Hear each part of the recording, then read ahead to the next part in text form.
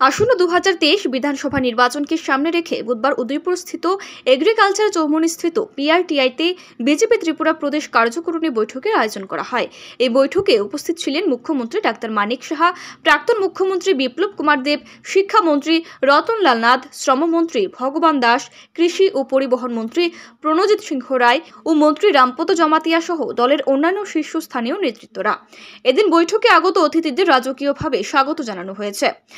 কার্যকরণী বৈঠকের বিষয়ে মন্ত্রী রামপত জমাতিয়া বলেন সংগঠনই প্রধান বিষয় সর্বশেষ রাজনৈতিক পরিস্থিতি। হায়দ্রাবাদে আমাদের জাতীয় স্তরে যে বৈঠক হয়েছে তা নিয়েই এখানে আলোচনা করা হবে বলে তিনি জানিয়েছেন।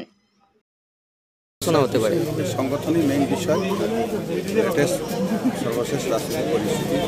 হায়দ্রাবাদে আমাদের যে জাতীয় স্তরের যে সভাটা হয়ে গেল বৈঠক হয়ে গেল জাতীয় স্তরের ওইটারও বিষয়ে এখানে আলোচনা হবে। এবং এই বিষয়টা ডিস্ট্রিক্ট লেভেলে এবং বুথ লেভেলে, মন্ডল লেভেলে এবং বুথ লেভেলে এগুলো নিয়ে যাওয়ার জন্যই এখানে আজকে আলোচনা হবে।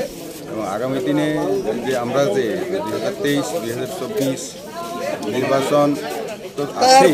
এর সাথেও আমাদের বিভিন্ন বেনিফিশিয়ারি সরকারের রাজ্য সরকারের এবং নতুন করে নতুন করে আমরা যেটা শুরু করে দিয়েছি ডক্টর মানিক শাহ নতুন মুখ্যমন্ত্রীর নেতৃত্বে ওইটাকে বাস্তবায়িত করার জন্য আজকে এখানে আলোচনা হবে এবং আগামী দিনে অবশ্যই এর সুফল জনতা যেমন পাবে, গরিব অংশের মানুষ যেমন পাবে, তেমনি তেমনি আমাদের প্রতিও জনতা বিশ্বাস রাখতে রাখতে রাখবে, এটা আমার আশা আছে।